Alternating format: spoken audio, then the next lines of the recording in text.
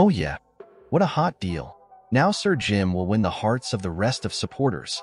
Denzel Dumfries wants Man United transfer and a deal will be considered. Ornstein News.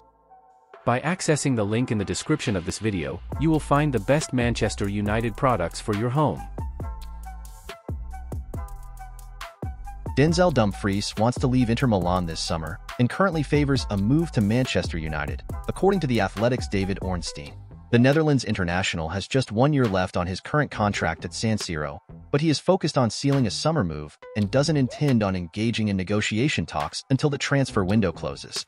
Although the Dutchman wants to join the Old Trafford outfit, a transfer will only be possible if Aaron Wan-Bissaka rejects a move to West Ham United, as per Ornstein.